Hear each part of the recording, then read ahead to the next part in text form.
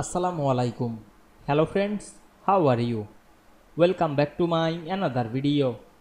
In this video, I am going to show you how to write text inside circle shape in PowerPoint. Let's get started. At first, you have to open a PowerPoint presentation. Now you want to write text inside circle shape. At first, go to the home menu, select the new slide option and create a blank slide. Then we go to the insert menu and select the shapes option. We can see here many shape. Now i am select the oval. Then draw the oval. Press shift on your keyboard to draw a circle. Now we can see we draw a circle shape. Then we go to the shape format menu and we can see here many effect. You can change the color otherwise add more than style. Select the style drop down menu and add any style.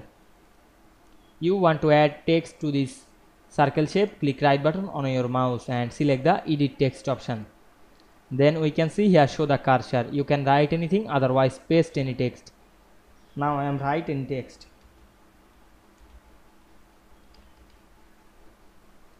You can add more style to this text. Select the text at first.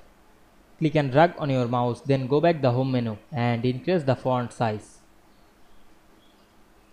Then select any effect like bold italic underline or the shadow now we can see we add text into circle shape very easily.